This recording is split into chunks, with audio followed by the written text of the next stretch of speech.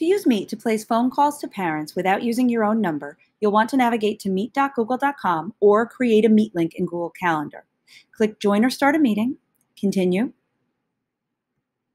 and then you have a couple of options. You can join the Meet and use the audio right on your computer, or if you would prefer, you can join the Meet and use your phone for audio. There isn't any real advantage to that, except if you want to be able to walk away from your computer, um, you're on your cell phone, you can walk around your house and conduct it like a regular call, you might want to use the audio on a phone. Um, to do that, you'll simply enter your number here to have the Meet call you, or you can dial in and enter this PIN. Now, once you've joined the Meet,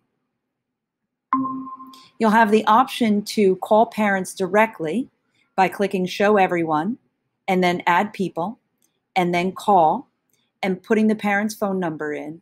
Or alternatively, down here, you can use this number and this PIN to have parents call in directly to the Meet um, on their phone. One advantage of using Meet for these kind of phone calls is that you'll have a record of the meeting through attendance reports once the meeting finishes.